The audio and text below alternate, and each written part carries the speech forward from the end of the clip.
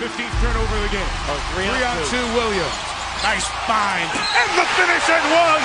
Ah, you love it. You By love it Matthews. when a guard is out on the wing and they go to the basket and they dunk the ball and give you a potential. No timeouts, Houston. Here they go.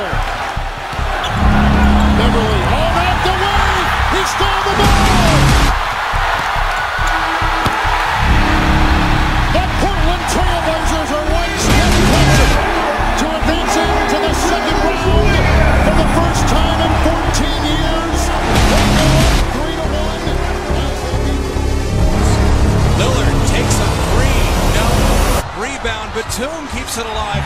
Matthews picks it up and dunks